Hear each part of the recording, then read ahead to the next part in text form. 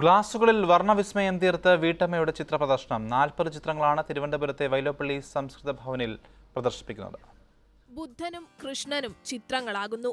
നർത്തകിയും ഊഞ്ഞാലാടുന്ന പെൺകുട്ടിയും കാഴ്ചക്കാരുടെ മനം കവരുന്നു.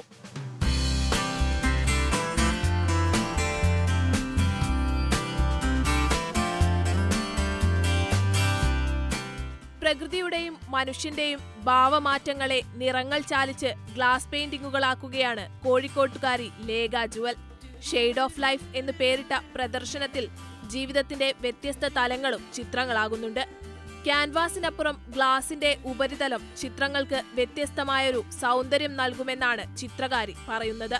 രണ്ടു മാസം കൊണ്ടാണ് നിറക്കൂട്ടുകളുടെ വലിയൊരു ലോകം ലേഖ പൂർത്തിയാക്കിയത്. എല്ലാ കളേഴ്സും യൂസ് ചെയ്യാൻ പറ്റും. എല്ലാ കളേഴ്സും ഗ്ലാസ്സിൽ നമുക്ക് ഉപയോഗിക്കാം.